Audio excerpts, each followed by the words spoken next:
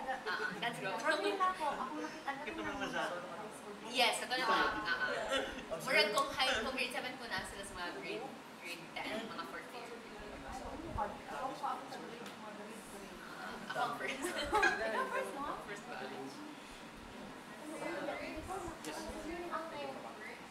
You're still young. Yes, you're still young. Wala din ako sa parang nakakita.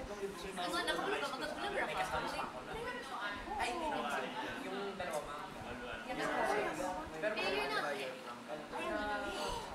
She's saying. Oh, yeah, I don't know. Mom, uh, I have two kids. Yeah, she has two kids. she I old. I have two kids, three years old and five years old. So young. Yes, they're so young. Nasa, nasa dati na. Sa newspaper. Sa newspaper.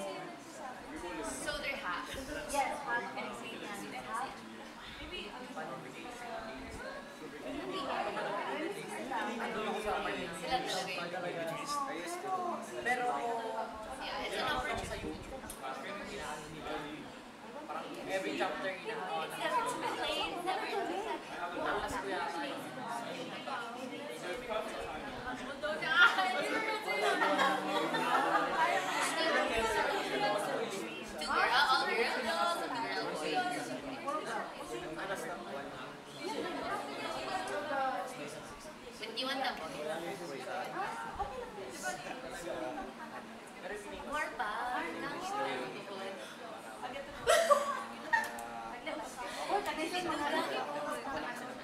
Dili kay pagpuna ko na magod na mo for sa mga Nino. It or ay tulumin for like how did Jamaica grow up there sa Lumiere? It.